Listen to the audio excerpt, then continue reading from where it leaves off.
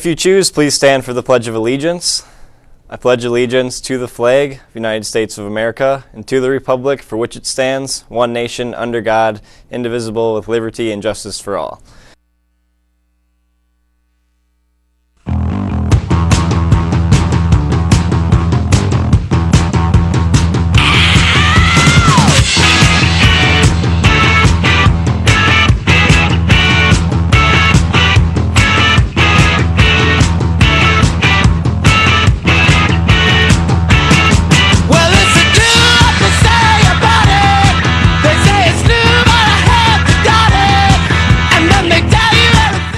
Morning, Fort Atkinson. I'm Tommy Johnson. And I'm Becky McHenry for Fort Atkinson News Network. These are the morning announcements for Friday, February 12th, 2010.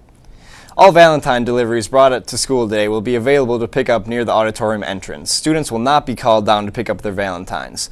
Names will be posted on a marker board and Student Senate members will be handing out the deliveries. Also, Student Senate will be selling roses for Valentine's Day for $3 each. Winter Ball is on Saturday, Feb- February 20th. Any student planning on bringing a guest from another school must pick up a guest permission slip form from the main office. This form must be filled out and turned into Mr. Trenga by the end of the day, Friday, February 19th. And uh, the Fearless Pandas, who we'll be hearing more about in a little bit, may be there, so it'll be a good idea to come. Sounds cool. Do you dream of becoming a star? Well, here's your chance. Audition for the Fort Atkinson High School Spring Play. Auditions will be held on Tuesday, February 16th, room G238, starting at 6 p.m. Audition information located outside Miss Schultz's room, also room G238. If you have any questions, please see Miss Schultz.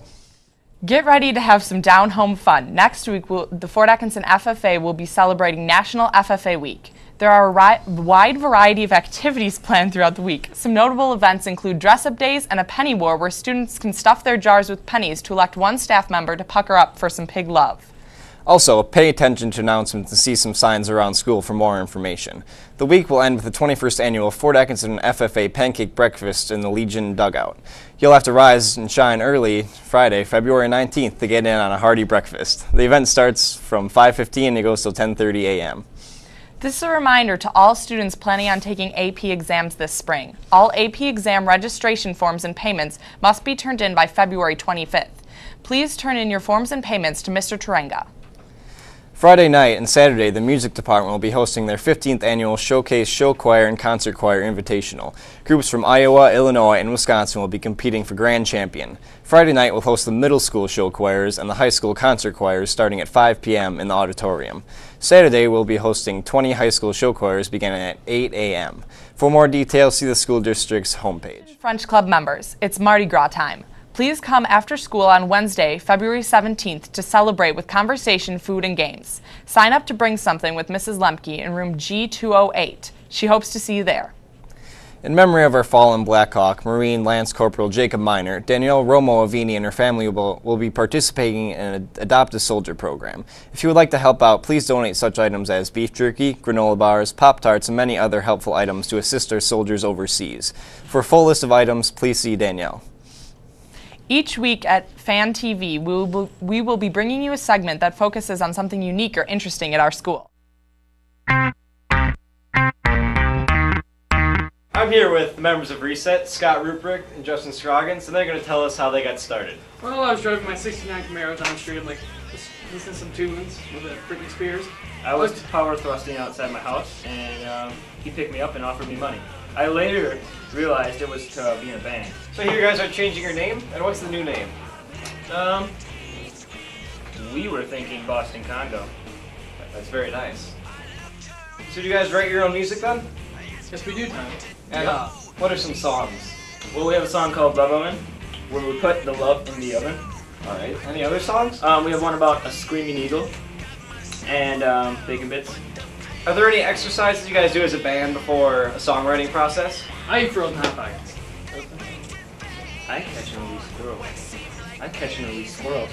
I catch and release squirrels. Uh, I catch and release squirrels. Tommy Johnson I catch and release squirrels. I catch and release them. I catch and release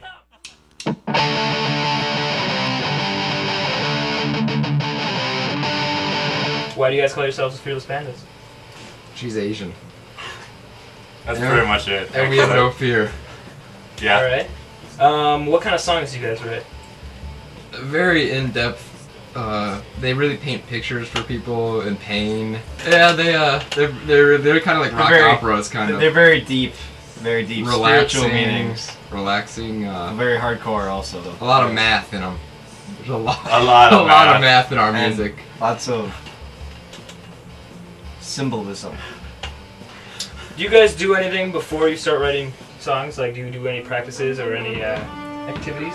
We typically practice um, the day before any major performance that we have. Yeah. We're not very good at Yeah. getting ahead. in terms of getting ready and before practices, like warming up, we tend to do gymnastics a lot. And Yeah. Mariah makes us baked goods when because she gets here late all the time. And So we sacrifice small animals. we ate some uh, Amish friendship bread that Mariah had made for us. It creates a bond between the band. Some friendship. Friendship. Yeah. It's like this.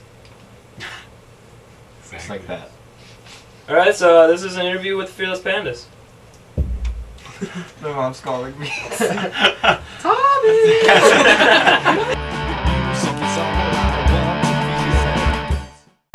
we do not actually sacrifice small animals, but my mom actually was calling me, so that's a little embarrassing, but it happens. Well, it sounds like we have a lot of talent here in Fort. On Tuesday, February 16th at 7:30 p.m., the Cat's Pajamas will be performing. See this four-voice vocal band perform your favorites. One of the members of the group, Brian Skinner, is a Fort Atkinson graduate and was instrumental in starting the group. They have all, they have traveled all over the world and will be opening their own stage show in Branson, Missouri this March. They've appeared on Oprah and America's Got Talent. They have also been given praise by well-known American Idol judge Randy Jackson. Tickets are $6 for students and $8 for adults. Tickets may be purchased in the choir room or you may purchase tickets at the door a half an hour before the show. This has been Becky McHenry for FANN News. This is Tommy Johnson. Remember, respect the stash and no one gets hurt.